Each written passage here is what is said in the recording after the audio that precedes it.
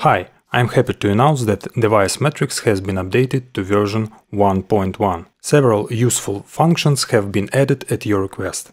This update is free for all owners of Device Matrix. To download the updated version of the plugin, please open the email that you received when you purchased the first version, or download the update on the product page by entering your email address. Let's take a quick look at each improvement. The number of tracks and devices you can control has been increased. In fact, the number of tracks has been increased to 50 and the number of devices to 500. The ability to open device matrix using the keyboard was added. To do this, please press key and select a button on the keyboard. In this case, I will choose Q. Now, wherever in the program you happen to be, you can easily open the device matrix by pressing the previously selected key.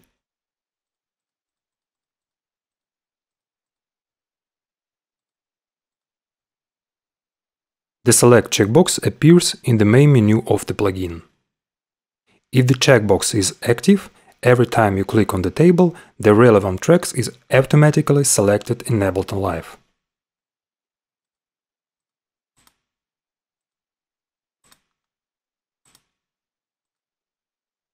Now you can change the dry wet or mix parameter not only for native Ableton Live devices, but also for VST plugins. As an example, for now I will change the mix parameter for some popular plugins.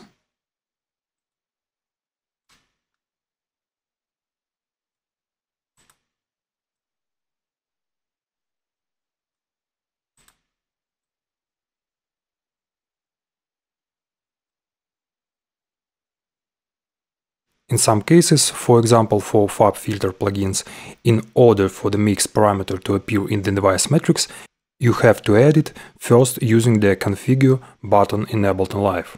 Some people have asked me why the limit on the number of tracks in the matrix is not disabled.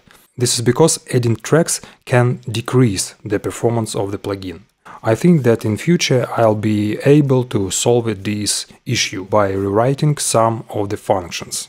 But for now my advice is to keep project as focused and minimalistic as possible.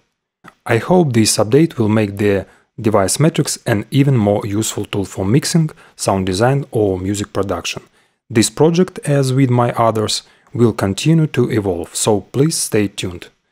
Good luck to everyone, bye for now.